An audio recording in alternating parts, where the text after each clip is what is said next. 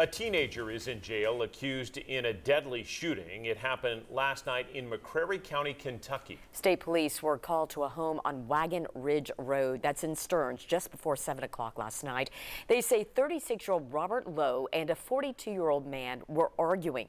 That is when police say the teenager shot Lowe. Lowe was in the driver's seat of his vehicle. That teen now charged with murder.